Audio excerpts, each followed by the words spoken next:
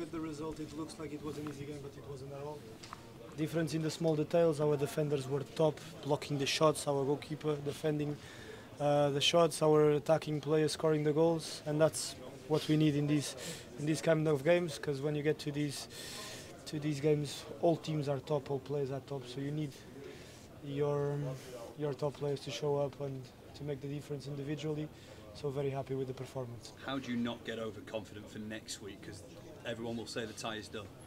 Well, everyone will say that, but we've we've had very a lot of uh, uh, bad experiences in these competitions in the past, so we need to be ready. It's not over.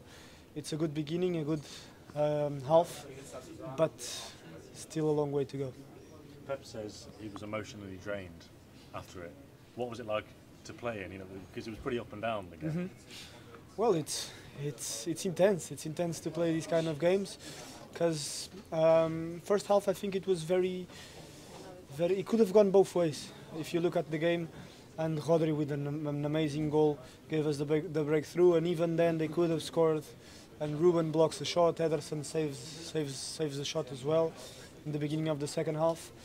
And then, uh, yeah, our players up front with Erling, an amazing, an amazing job, and Jack recovering the ball and the assist, and then uh, and then uh, Julian to John to Erling. So um, a very tough game mentally and physically, but we did very well, and we're very happy with the performance. How do you manage to defend so well being a forward?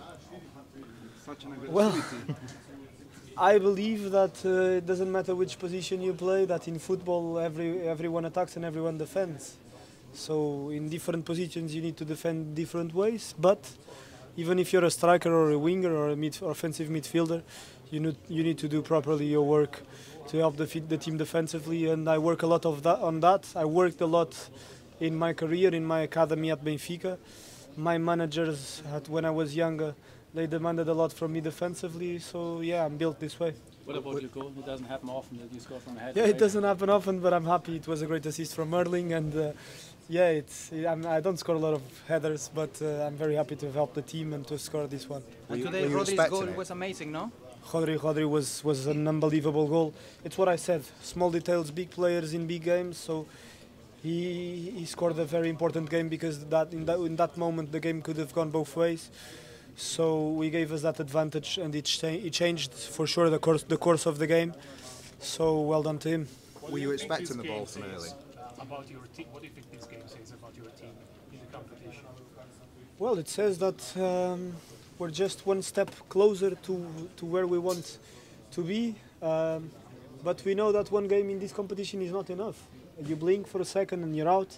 So um, we need to be in, the, in everyone individually and, and, and collectively. We need to be on top of our form to to deal with this competition and to go through every step to arrive at the final and then win this competition, which is a a main a main goal for, for all for everyone at the club.